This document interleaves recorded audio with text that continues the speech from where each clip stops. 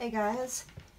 Okay, today we are going to be doing, uh, see, part six of the robot, and hopefully we will get it done. As we've got so far, we have got both legs, both arms, and bits and pieces of the body. This is how far we have gotten so far with the body.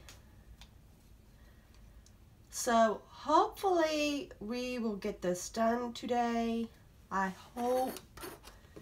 Because I really want to see this finished product. I really, really do. I would love to see just what it does, what it plays. So let's go on ahead and get started. So let's go on ahead and find what we need here. I need C2. Okay. Yeah, my baby girl's in here with me now. That's my Catherine. Even though she's a little upset with Mama, she doesn't want to be away from Mama. That's a good thing. Okay, and so we do the same thing with this one. And we make sure that the hole is on this side.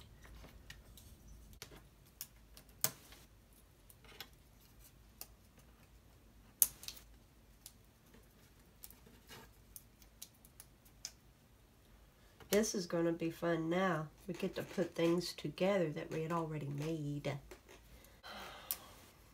Okay. And let's see here. Alright.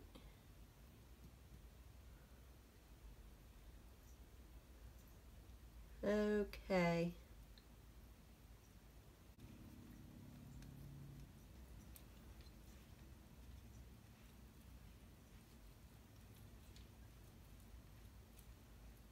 I'm just putting the pin through so that we can put the other parts on it here.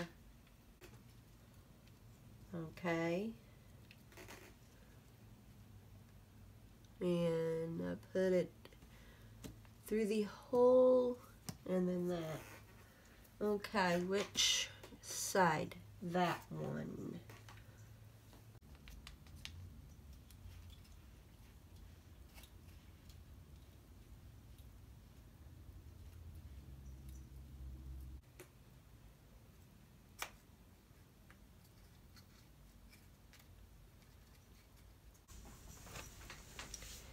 Okay, guys, I'm very sorry. Um, when I went to shut off the camera and start the editing, a lot of footage had been cut off.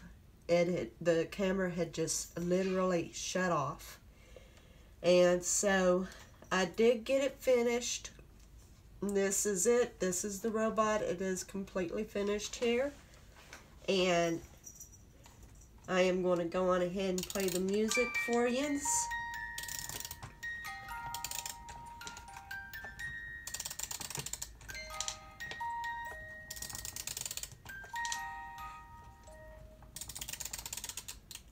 And we are going to finish it with, with the music.